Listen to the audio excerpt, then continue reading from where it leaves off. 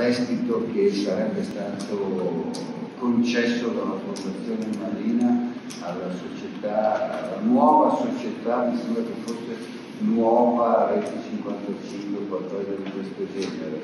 Eh, dopodiché erano voci, chiesi eh, se c'era qualcosa di vero a due eh, membri del Consiglio di amministrazione della Molina che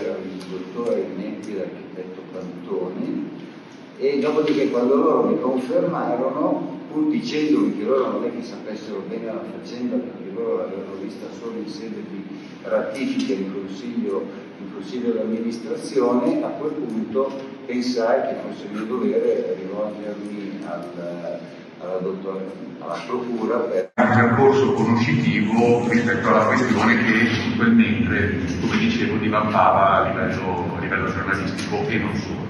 Quindi per approfondire appunto la natura di questa, di questa notizia, eh, sa com'è finita poi questa interrogazione che ha sollevato il Consiglio regionale? Beh, data risposta in consiglio dall'assessore Gallera su mandato del presidente, del presidente Maroni e ora non ricordo esattamente i termini della, della risposta, ma mi pare che eh, la, questa fu di conferma